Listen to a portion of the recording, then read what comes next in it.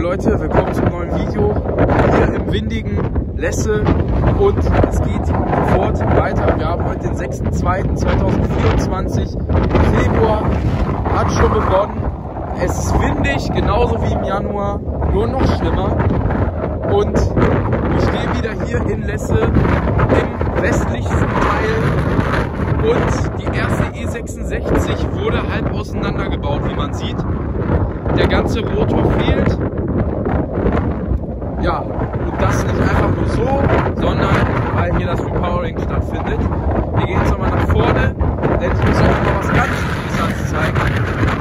Und ich kann jetzt schon fast gar nicht mehr gehen, es ist tot, wirklich.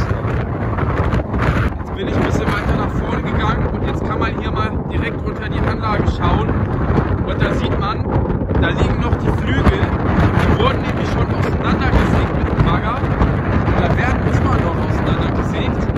Äh, der Rotor ist nicht mehr ganz der Rotorstern. Die Flügel werden nicht mehr benutzt. Ja, so sieht es hier aus.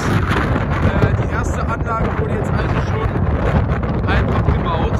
Das Lustige ist, da liegt kein Kran mehr. Also der rote Kran, der da stand, ist weg. Wurde abgebaut, abgeholt, ist weg. Dafür ist jetzt der Kran von Floßdorf hier.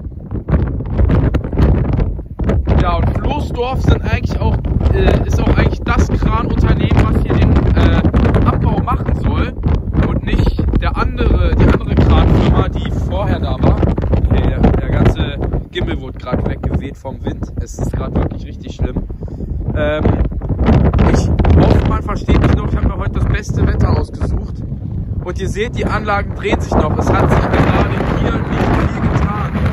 Halt nur, dass die erste Anlage etwas auseinandergebaut wurde und mehr auch nicht. Und dass der Kran weg ist. Äh, aber mehr hat sich nicht getan. Das nächste ist im Hauptteil. Die drei Fundamente sind fast alle fertig. Die Fundamente sind fast alle fertig und wurden, glaube ich, schon alle gegossen. Da werde ich auch noch mal gleich hinfahren und gucken.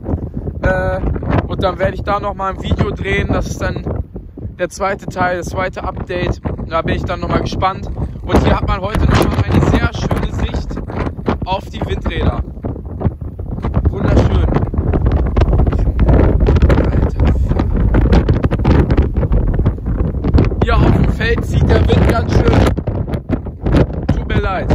Deswegen ziehe ich das Video auch nicht so lang. Und wir gehen gleich rüber zu den Fundamenten und sehen uns dann im nächsten Video. Wie gesagt, hier hat sich nichts viel getan. Die E66 hat keine Motor mehr, keine Flügel mehr. Es wurde von AK Fehmarn, äh, Grüße gehen an AK Fehmarn der Firma. Auf Insta haben die mir ein paar Fragen beantwortet. Äh, also die Anlagen werden nicht alle verschrottet. Manche werden äh, noch als, als Ersatzteilspender benutzt oder ins Ausland verkauft.